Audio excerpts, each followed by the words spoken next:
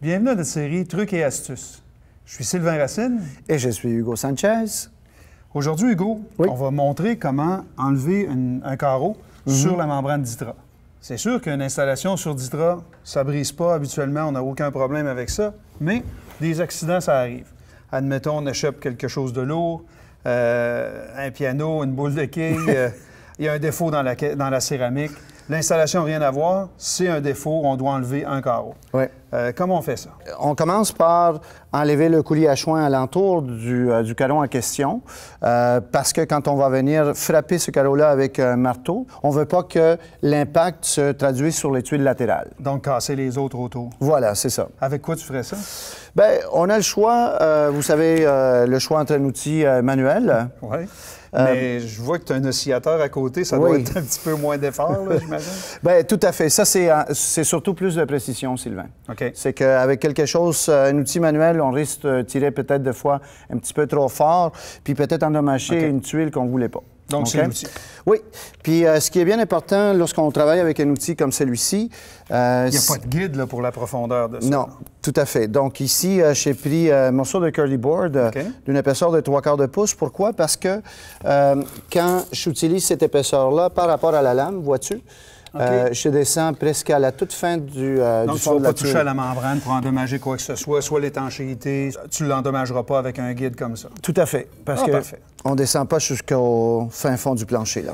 Là, naturellement, tu travailles avec un outil qui peut faire des morceaux un peu partout. On, va- on a besoin d'équipements de sécurité, Oui.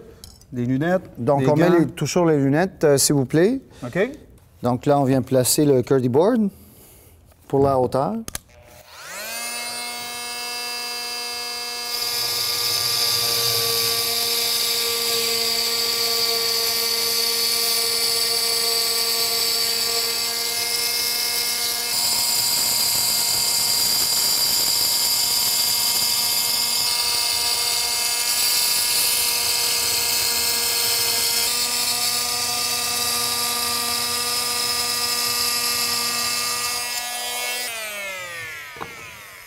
Alors maintenant qu'on a dégagé les, euh, les choins, OK. juste euh, pour s'assurer que tout est bien dégagé.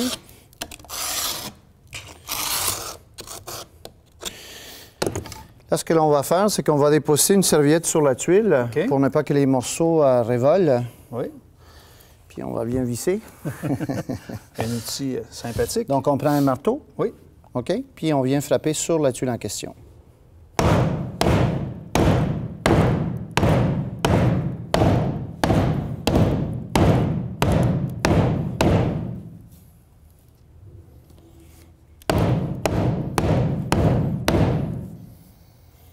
Donc, le fait que tu aies vidé les joints, ça permet à la tuile de casser sans venir endommager partout. C'est ça, on n'exerce absolument aucune pression sur les tuiles latérales. OK. Et vois-tu, il me manque un petit morceau ici. Euh, là, on dégage la serviette. Ce serait une bonne idée d'avoir des gants, j'imagine. euh, Absolument, avec, parce que euh, c'est- de la vitre quand même. Hein? c'est- Ouais. OK. C'est c'est quasiment comme de la vitre, c'est vraiment très, très, très coupant. Donc, euh, Puis là, le fait que ce soit.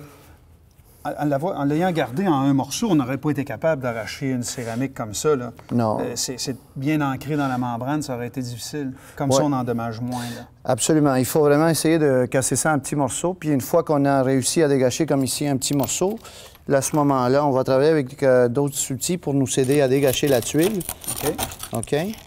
Parce qu'on ne veut pas, évidemment, endommager euh, le- la membrane en dessous ou si on a des fils chauffants également dans le cas de la vitraïte. OK. Euh, on va juste casser ça ici. Voilà.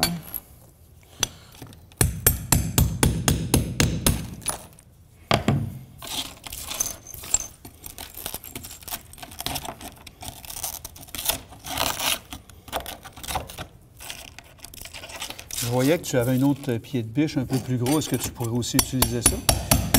Le maillet ici, euh, Non, l'autre pied de biche Oh. à côté, oui. oui, on peut utiliser, ça dépend avec lequel que tu te sens à l'aise. OK. C'est tout simplement de bien dégager la Mais si tu tuile. avais à, fra- à fra- frapper plus fort, tu prendrais plus un outil comme, comme celui-là au lieu de celui-là. Oui, oui, oui. Ça dépend tout le temps de la dimension puis du champ de travail que l'on fait. C'est- sûr que je suis en travailler avec un outil un petit peu plus petit pour me donner un petit peu plus de précision.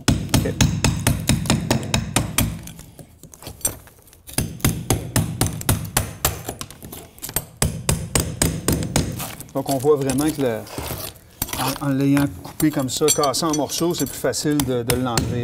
Oui, oui.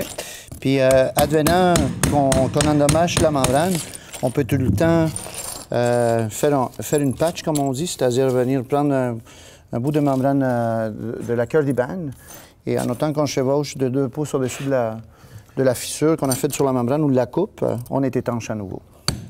Mais, Mais- ça, c'est si on, a, on veut imperméabiliser. Mais en Ouais. général, si c'était un plancher de cuisine standard, on n'a pas à, à réparer la membrane si elle n'est pas trop endommagée. Non, absolument pas. Puis le fait que tu l'aies cassé comme ça, on ne tire pas sur la membrane, le textile reste collé au plancher. C'est ça. OK.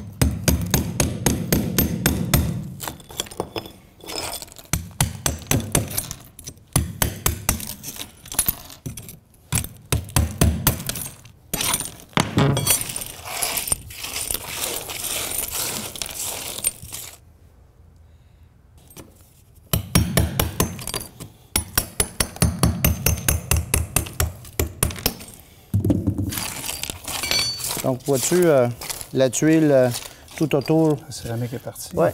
Puis euh, on n'a pas endommagé aucunement la tuile euh, à côté. Donc maintenant, il s'agit de dégager les résidus de ciment. Parce que naturellement, tu vas avoir le plus d'espace possible pour être capable de remettre du mortier. Absolument. Alors voilà, Sylvain. Au travail, Hugo. Merci. Tu vois, tu as enlevé juste assez, le plus près possible la membrane, juste assez pour qu'on soit capable de réinstaller un carreau pour être à la même hauteur que le carreau existant. C'est ça. euh, beau travail. Merci. J'espère que ce truc vous sera utile pour vos prochains travaux. Pour d'autres informations, vous pouvez visiter notre site internet au www.schluter.ca.